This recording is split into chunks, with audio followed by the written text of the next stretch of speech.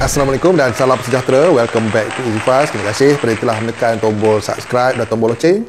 Bagi yang belum, jumpa-jumpa lah. Baik, pada video kali ini ya, tentang sedikit perkabaran yang kita boleh cakap uh, yang bagus lah, yang baik lah ya untuk STR fasa 2 nanti ya. Jom.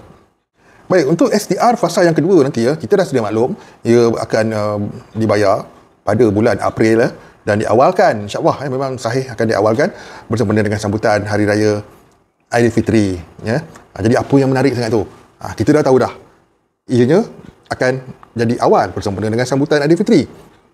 Tapi ada sesuatu di sebalik tu yang bakal membuat ramai orang berasa sedikit gembira. Gembira macam mana tu? Ha, kita mesti nak tahu apa benda yang gembira tu.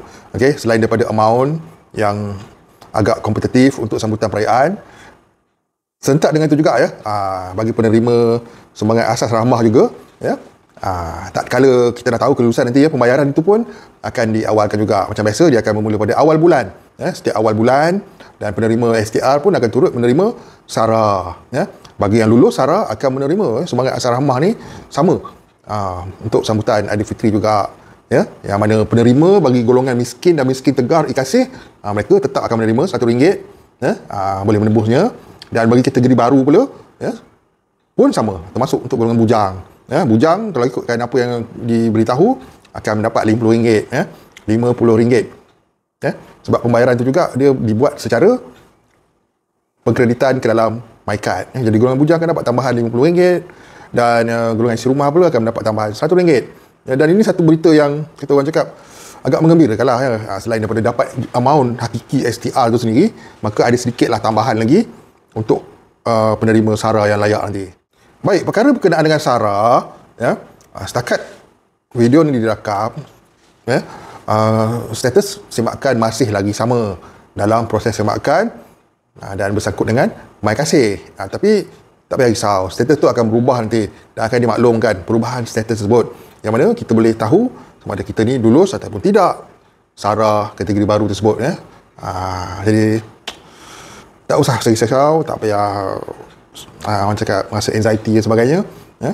Sebab memang uh, sara kategori baru tersebut memang akan diadakan dan masih lagi sedang dalam proses ya. Jadi selagi belum buka uh, yalah pejabat-pejabat kerajaan semua memang perkara tersebut tidak akan ada ya. Dia akan diumumkan ya bila semua uh, jabatan kerajaan ya Kementerian Kewangan Magasis telah mula bekerja ya, selepas selepas selesai uh, sambutan Tahun Baru Cina ni Ha, jadi dalam masa yang terdekat ni ya, untuk hari ni dan besok ha, bertambah dulu kita nantikan pada hari Selasa dan seterusnya ya, status tersebut akan bertukar. Ya. Dia tak ambil masa yang terlampau lama untuk kita tahu.